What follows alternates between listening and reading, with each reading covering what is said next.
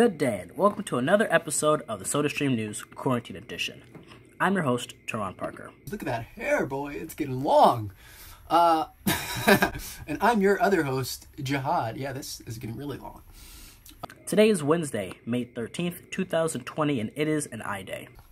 I for is this over yet? The Sodaware Spring Sale is going on now. Don't miss out on the hottest items at hot new spring colors.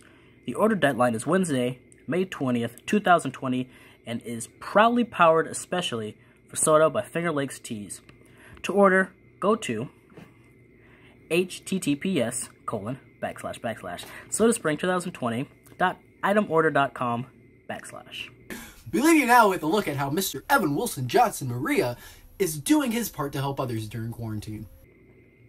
Thank you for watching and tune in Friday for another glove sip of the SOTA Stream News. I hope you are all doing what you can to socially distance and stay at home. There are other things that we can do. Um, I'm talking about donating blood.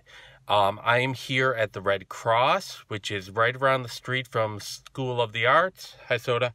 Um, and I'm here to donate blood and um, you know, help out people who need it. So here I am giving blood. I just get to sit here for five or 10 minutes while my blood uh, goes through a tube and fills up a bag. Um, it was a little pinch, but right now I feel fine. Everything is cool. I'm gonna show you guys uh, my blood, which is pretty gross and also pretty cool at the same time.